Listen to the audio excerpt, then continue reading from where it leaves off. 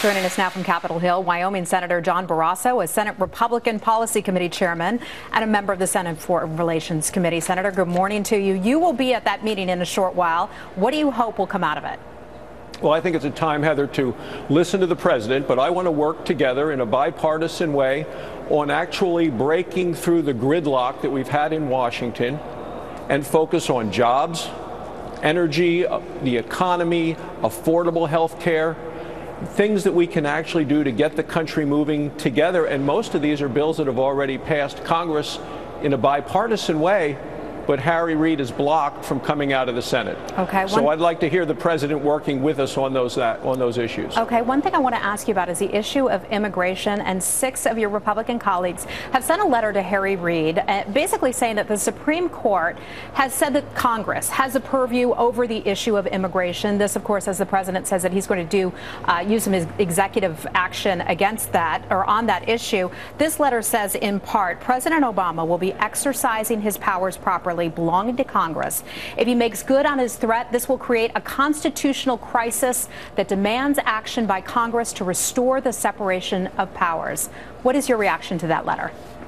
Well, uh, I agree with them. I think that the president's decision, if he does that, would be a toxic decision. Uh, and uh, he really shouldn't go down that road. I understand the president is trying to regain his footing and prove his relevance after a very tough election that he lost, his policies lost all around the country. But Heather, no one ran for office this year uh, campaigning to say the president ought to do more executive orders and specifically on immigration. Well, what specifically so, uh, are Republicans prepared to do about it?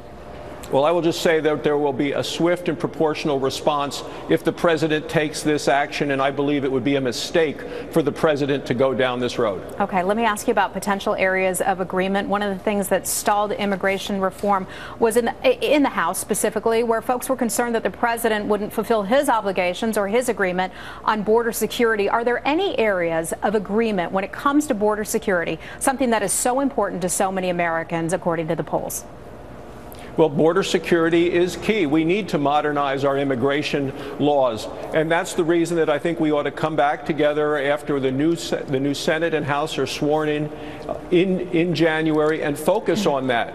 And certainly, border security is the key to all of it. After you make sure that the borders are secure, then you can talk about all of these other components. Okay, but then uh, uh, the president's action, though, before the next Congress could eliminate a lot of what you guys would like to do in the next Congress about that. What is your what is your take on that? Well, I still think it would be a terrible mistake for the president this close to an election where his policies all across the country all right, were Senator defeated soundly that he shouldn't head in this direction. All right, Senator Barrasso, uh, best of luck to all of you at that meeting today. Thank you. Thank you. Thanks, Heather.